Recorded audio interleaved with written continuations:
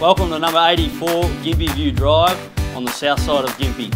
Obviously a great location, however you really need to come inside and take a look around to appreciate the size and the quality of this extra large home.